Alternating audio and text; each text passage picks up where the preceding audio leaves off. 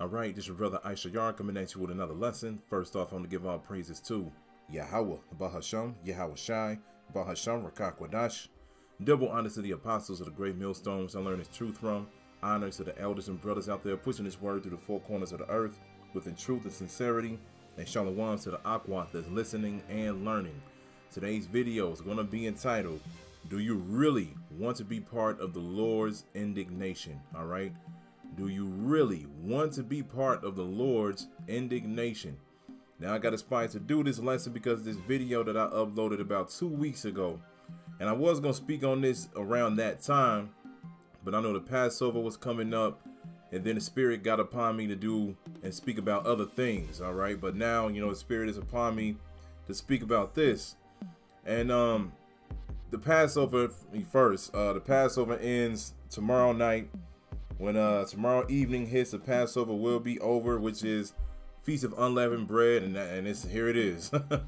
Feast of Unleavened Bread ends tomorrow sundown. This is from the Apostle Arayamlab, GMS Info Doctor Channel 12.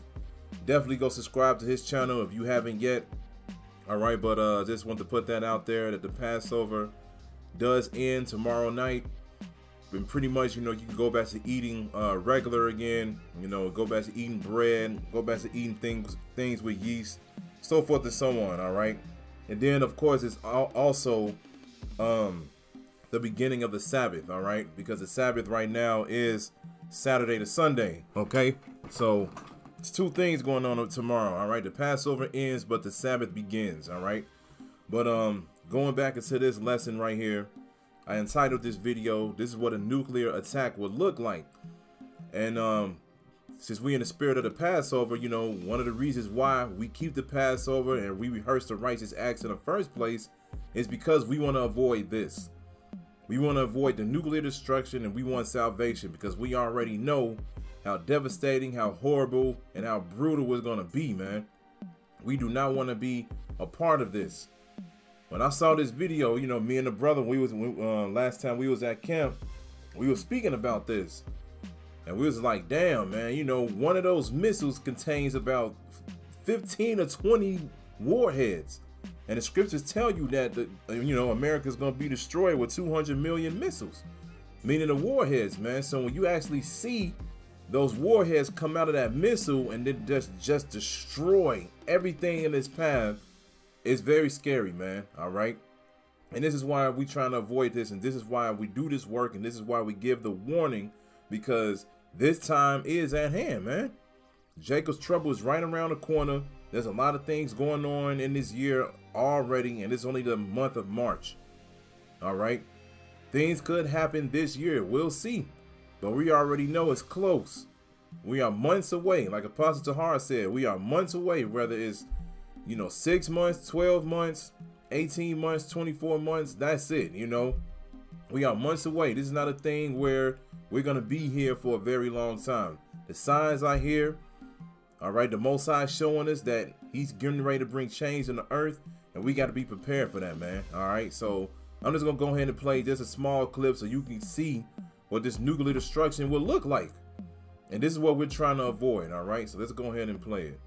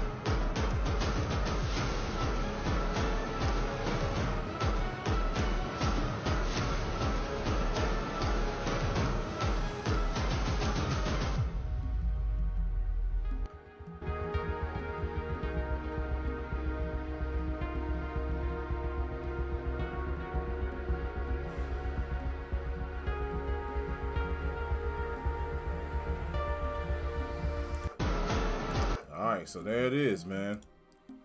That's a very scary scenario right there, man.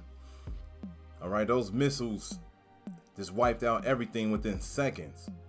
And you know, it all makes sense because the scriptures tell us that America is going to be destroyed within one hour.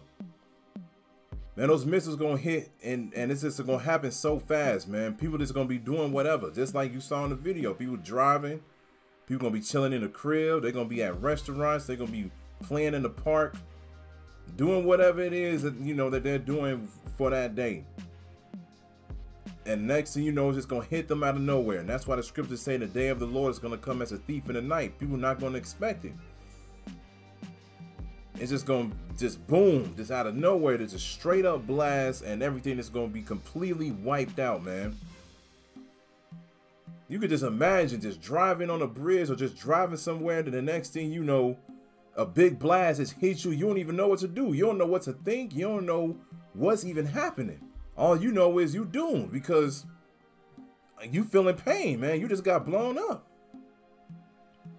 The next thing you know, you you you know, uh uh you could have been pierced or whatever whatever by the glass. If you was in a car, you got stuck somewhere, the car flip over and land some type of awkward way, and next thing you know, you in all type of pain. You can't do nothing. You just over there just feeling that, man. And then the most sound like it ain't over yet. Here comes the fire. Then he burns you. Then he burns you, and you don't know how long the Most is going to keep your spirit within your body when that happens. So this is why we continue to give out this warning over and over and over and over again, especially now, like I said, this is the week of the Passover. This is what we want. We want the Most High to pass over us. Well, not, no, we don't want the Most High to pass over us. we want to pass over this destruction that's getting ready to happen. We want the chariots to beam us up, man, so we can get away from this. Because this ain't gonna be, this is not gonna be a, a pretty day at all, man. There's a lot of jakes out there, and a lot of people believe that this won't happen. They don't believe that a nuclear attack could happen in this world. They don't believe that something this drastic can happen to the point where they'll literally be like, yeah, we're gonna shoot missiles on a certain country and wipe everybody out. They don't think something like that can happen because America has got a lot of these people just in this funk, man. They just got them in this belief where they just feel like, no, we're gonna continue to just go on and live. We're gonna be all right. We got past the year 2000. We got past 2020. We got past the recession back when George Bush was in office. All of these different things. We gonna be all right. The, the presidents ain't gonna make a mistake to the point where they're gonna allow Russia to shoot missiles over here, man you got to be a bugged out individual if you got that type of mindset, man. It's in the air. It's in the air. Russia and these different countries are sending threats to America uh, uh, damn near every day now, man. We are that close. There are certain countries that's telling them that they're getting ready to prepare them for a draft. Every and all of these things are gonna come here to America, man. It will come here to America. Let's start off with Sirach chapter 10. Go to verse 12. It says, The beginning of pride is when one departed from the Most High, and his heart is turned away from his Maker. Verse 13 it says, For pride is the beginning of sin, and he that hath it shall pour out abomination.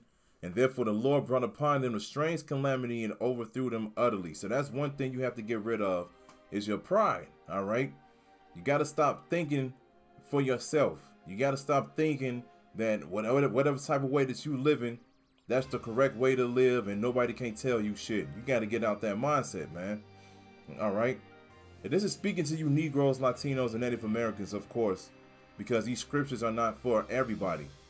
And even on this side, it's not even for the majority. It's not even for all Israelites. It's not even for all of you Negroes, Latinos, and Native Americans. It's only for the elect right now. All right. That's it. So if you come across these videos, you got to get rid of that pride. All right. You got to get rid of that pride because it is the beginning of sin. And what does sin get you? It gets you death. And one of the greatest sins, well, the greatest sin that the majority of our people is about to commit is they're going to take the MOTB, the microchip. And that's going to get them uh, into nuclear destruction. That's going to be their ultimate judgment, man. Because a lot of them are going to get weak. A lot of them are going to run to their master Esau and they're going to take it. And the scriptures tell you in Revelation 14 and 9, if you take that, that's it. You will be part of that indignation, which is the righteous anger of Yahweh Bashem Yahushai, man. All right. Let's go up. Let's get Second Corinthians. We're gonna get Second Corinthians chapter 5. Then we're gonna go to verse 8. And it says, We are confident, I say, and willing to be absent from the body and to be present with the Lord. Wherefore we labor that whether present or absent we may be accepted of him. For we must all appear before the judgment seat of Hamashiach Yahushai, and everyone may receive the things done in his body according to that he had done, whether it be good or bad. Everybody has to appear before Yahweh Bashem Yahushai to be judged, whether it's a wicked judgment or a righteous judgment. Either way, we all got to appear before the Lord. All right. So with that being said, with us being in the truth, we got to make sure that we on point. We got to make sure when we're in front of the Lord, you know, spiritually, because when these things go down, when Jacob's trouble happens and everything, this is going to be, uh, this is going to be him spiritually, or us spiritually being in front of the Lord to see what we're going to do when times get rough. He's going to see like, okay, we going to see if uh, we going to take the C hip. He going to see if um uh, uh we deny him when uh, when trouble starts. All of these things are going to happen, man. All of it. But the thing is, we got to keep our integrity and we got to keep faith. We got to remember these scriptures, man, and remember what the Most High said if we follow His word. He said, if we endure to the end, we shall be saved. We got to believe that, man. Verse 11 it says, Knowing therefore the terror of the Lord, we persuade men, but we are made manifest unto the Most High, and our trust also are made manifest in your consciences. All right. So knowing therefore the terror of the Lord, we persuade men. When you when we see things like this, we bring this out and we upload it for everybody to see. Because this is terror of Yahweh Bashem Yahushai. Look at this, look at that, man. Look at this. this is terror right here. And we persuading men through what? Through the scriptures. When we see things like this, man.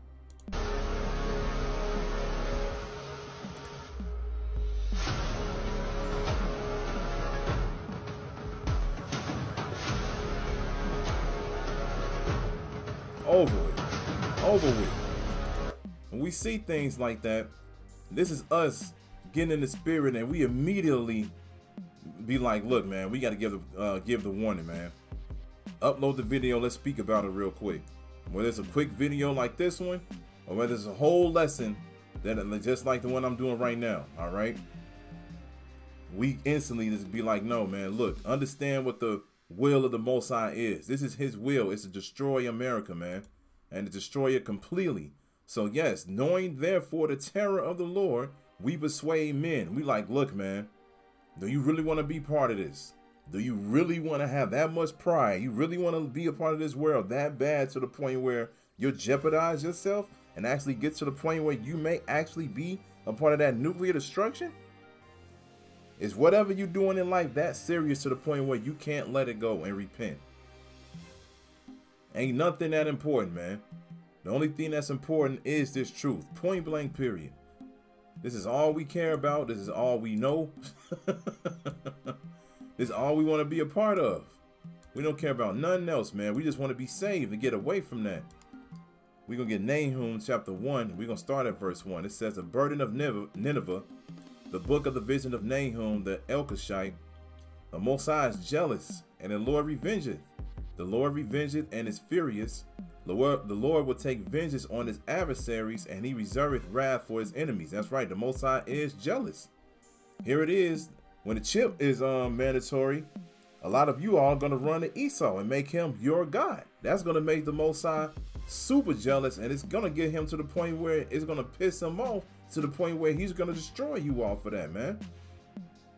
Because you all chose your slave master rather than the power. All right. Verse 3 it says, The Lord is slow to anger and great in power, and will not at all acquit the wicked. The Lord hath his way in the whirlwind and in the storm, and the clouds are the dust of his feet.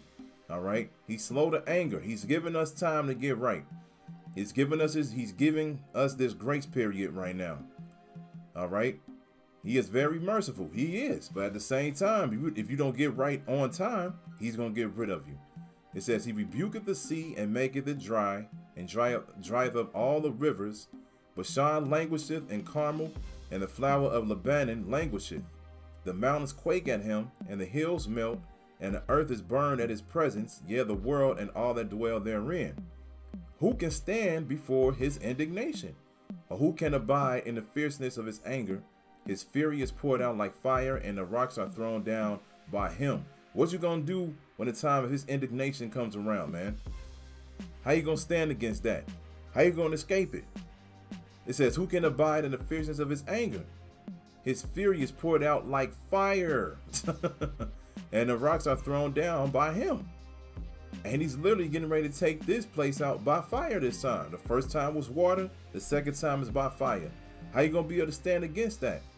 The only way you can go and get away from it is through the chariots. You gotta work and make yourself worthy or show the most high that you are worthy to be part of that salvation, which is you being beamed up on that chariot, man. Verse 7 it says, The Lord is good, a stronghold in the day of trouble, and he knoweth them that trust in him. But with an overrunning flood, he will make an utter end of the place thereof, and darkness shall pursue his enemies. All right. So darkness are is getting ready to come upon this place. Two thirds of his own people is, is enemies toward the Most High, man. He does not like two thirds of his own people. He's gonna love you in the kingdom when you come back. But right now, man, he can care less. He like they not thinking about me, so I'm not gonna think about them when that trouble comes. And you can read about that in Proverbs chapter one tells you that he's going to laugh at your calamity. He's going to mock when your fear coming. All right. He's not gonna. He's not going to feel bad when them nuclear missiles hit your ass, man. He's gonna be looking down, and he's gonna be, and and he's just just gonna allow it to happen, man. He's gonna give orders to the angels on the left hand side, and like I said, he's gonna allow that pain to go through a lot of these people, man. A lot of them, because a lot of you all chose not to get right. Let's get Zechariah We'll get Zechariah chapter 14. Go to verse 12. And it says, This shall be the plague wherewith the Lord, Salakia, it says, This shall be the plague wherewith the Lord will smite all the people that have fought against Jerusalem. Their flesh shall consume away while they stand upon their feet, and their eyes shall consume away in their holes, and their tongue shall consume away in their mouth. And it shall come to pass in that day that a great tumult from the Lord shall be among them, and they shall lay hold every one, every one on the hand of his neighbor, Salakia, and his hand shall rise up against the hand of his neighbor. All right. So it says that flesh shall consume away while they stand upon their feet, and their eyes shall consume away in their holes, and their tongue shall consume away in their mouth. What is this? This is the body melting. All right. Something's going to be so hot to the point where your tongue is going to melt, your eyes are going to melt, your flesh is going to melt. All right. And what's that's going to be? That's going to be the nuclear destruction. They show you that in um the Terminator movie. I think it was the second one. In the Terminator movie, you know, she was um standing at the gate and then she saw the great flash and everything turned orange and then the fire came and she put had her hands up on the gate, and then all, her whole skin, everything uh, about it just melted, man. So the point where you just saw nothing but bones. But this time, man, it's gonna be so devastating and so hot, man. Even the bones gonna be gone, man. Because you got to remember, this place is gonna become the uh, the biggest desert once the new uh, the, the destruction is over. So something's gonna be so hot where this is gonna happen to people. This is the indignation of Yahweh Bashem Yahweh man. This is this this is when you read something like this, this is letting you know that the Most High ain't playing, man. He ain't he ain't about no games. He like, look, if you don't get right, I'm gonna allow this to happen to you, man. He's gonna make this happen to you. And a lot of people gonna know that this is the Lord that's doing it to him. They gonna know. Because they like the scriptures say, then shall they know that a prophet has been among them. You can read that in the book of Ezekiel. Everybody's going to know, man, because we've been giving out the warning for a long time, starting with the apostles. We've been saying that this day is coming. It's right around the corner. Get right, man. Get right. But we already know the majority of our people, they're not gonna do it. They're not gonna do it because they believe in America. So go ahead, believe in your slave master system, man.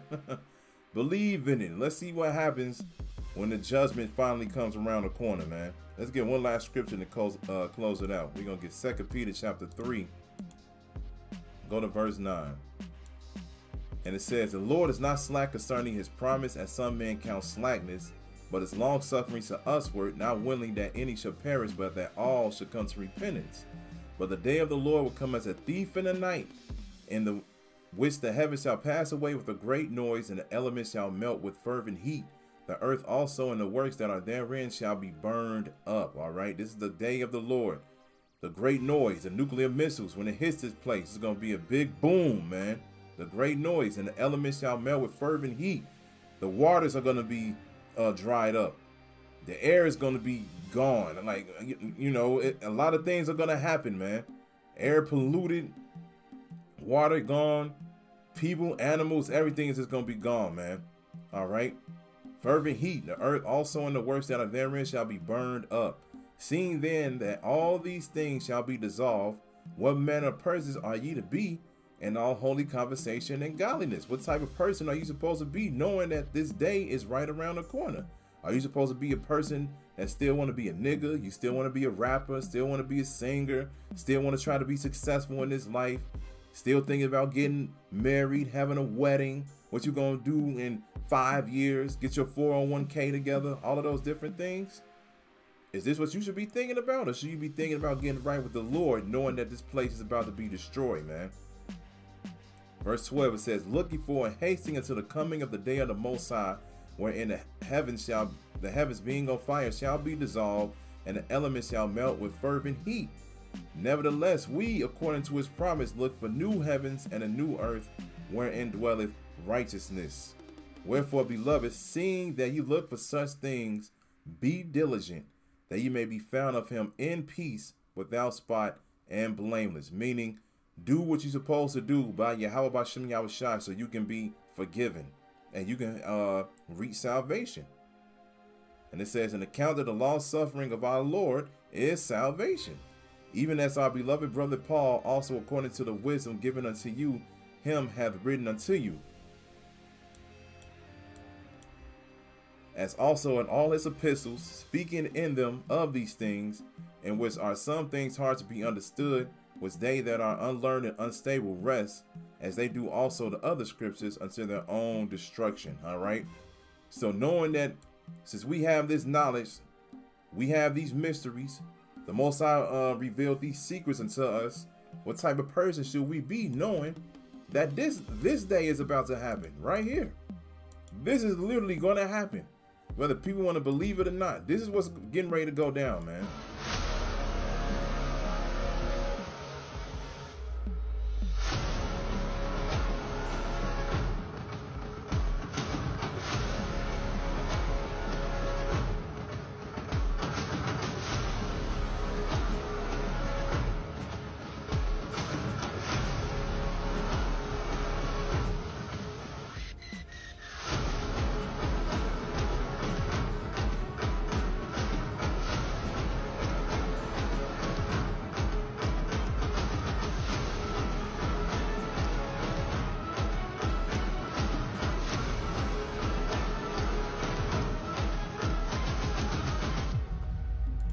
That's what's getting ready to happen, man. All right. Whether you want to believe it or not, this is going to be the end all be all. All right. This is not going to be a thing where you can have some type of your money is going to help you out. You're going to have bunkers or you're going to be able to fly away or whatever the case may be, man. If you took that C hip, if you took that chip, or if you wasn't right with the Lord before this day comes, you to be up in here, man. It's gonna happen because this place is wicked. It's getting worse and worse every day, man. And the Lord's getting ready to get rid of it. He's getting ready to clean up the earth. And he's gonna clean it up with fire. All right. So just like I remember Apostle Gabar always saying, man, when the Passover comes around, he always say, look, when the Passover comes around, he said, brothers, they get serious because they know for seven days, which is completion, They know for seven days that they gotta discipline themselves and uh, get even more locked in the spirit with Yahweh Bashem Yahweh He said you should, you should keep that same mindset all year round. The Passover mindset should be upon your spirit every day, man, even when the Passover is over. Because ultimately, the Most High is looking for soldiers. Scriptures speak about that too. He's looking for soldiers who's going to literally fight and endure and acknowledge Yahweh Bashem He's looking for the ones that's going to acknowledge him, man, and his son. So with that being said, man, look. this is something I want to be playing around with, man. We already know this ain't nothing we want to be a part of. Fuck all that, man. I ain't got time every time when I feel like you know what, I, you know, I do a video tomorrow or you know when demons mess with you, man, you know demons can mess with your mind and be like you'll be okay, you know, just chill out or whatever, do what you know, whatever the case may be. First thing I think about is the fear of the Lord, man. I think about this and I think about other things. I mean, like, nope, nope, nope. Gotta let that spirit rule over this flesh, man. Like the, state, the scriptures say, the, the flesh is the spirit is willing, but the flesh is weak we got to make sure the spirit overrules us, man. The scriptures speak about uh you ruling your house, which is yourself. All right. You can't rule yourself, how can you be a servant of of Yahweh Bashem Yahweh Shah? So we got to buckle down, man, because literally Jacob's trouble is right around the corner, and this is gonna end it all. So get right with the Lord, man. Get right with the Lord. So I hope this edifying. So with that, I'm gonna say, call Halayim. Yahweh, Bahasham, Yahweh Shai, Bahasham, Rekakwadash. Double honors to the apostles of the great millstones I learned this truth from. Honors to the elders and brothers out there pushing this word through the four corners of the earth within truth and sincerity. And shalom to the Akwat that's listening and learning. And Yahweh Ratazak, I'll be back with another lesson. Keep pushing, Yasharahla. Keep pushing. We almost out of here. Shalom.